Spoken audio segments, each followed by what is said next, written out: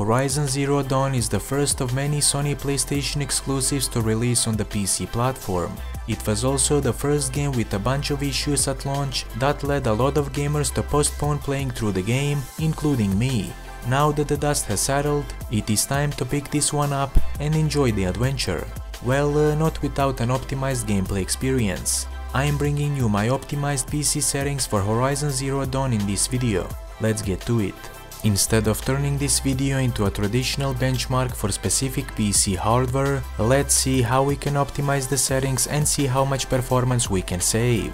Before we proceed with the optimization process, uh, download and install uh, LowSpecs Experience.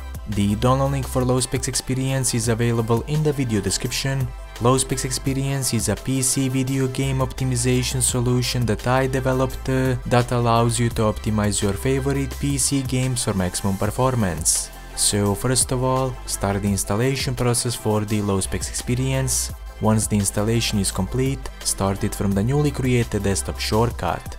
Now uh, select the optimization catalog, select the applicable digital platform, and then uh, select uh, Horizon Zero Dawn from this drop down menu. Once done, uh, press the load the optimization package.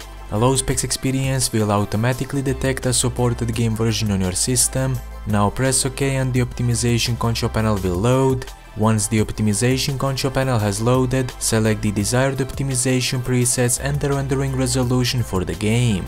Feel free to experiment with the optimization presets and rendering resolution to see what works best for your system.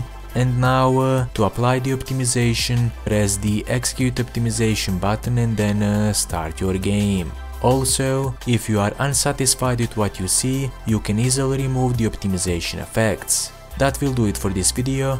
If you found this video helpful, be sure to like and subscribe. Until next time, happy gaming!